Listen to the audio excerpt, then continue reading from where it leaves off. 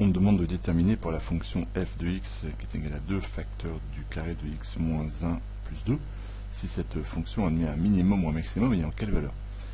Eh bien, la question est une application directe du cours, il va juste falloir rédiger.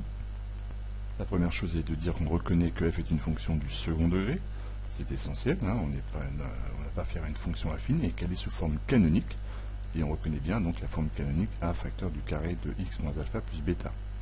On sait que la représentation graphique est une parabole. Cette phrase-là n'est pas essentielle, mais elle va justifier quand même qu'il y a un sommet. Et on reconnaît euh, dans la forme canonique le coefficient A qui vaut 2, alpha qui vaut 1 et bêta qui vaut 2. Ces trois phrases-là sont essentielles en termes de rédaction pour bien poser la suite de la démonstration. Elle admet donc que comme A est égal à 2, qu'on a trouvé ici, qui est positif, on sait que la parabole sera tournée vers le haut, et donc elle va admettre du coup un minimum, et on sait que le minimum est atteint pour la valeur x est égal à alpha, qui ici vaut 1.